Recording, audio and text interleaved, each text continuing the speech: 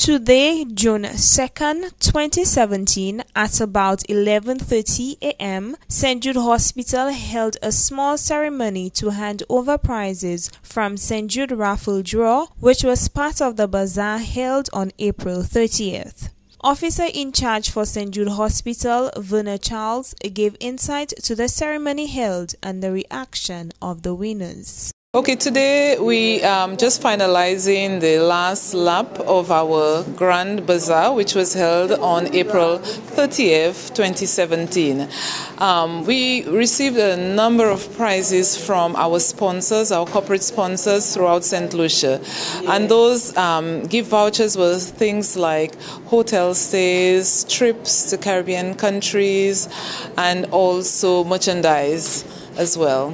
I think all our winners were excited, very excited to be at the, the bazaar and participating in the draws. They show a level of um, exuberance and excitement, even when their names were called, especially at the bingo, persons running up to the stage, receiving prizes. And even today, you know, that level of excitement, even after uh, almost a month after, you know, our bazaar, people still had that excitement to come in and to receive their prize. She also made mention of the bazaar success.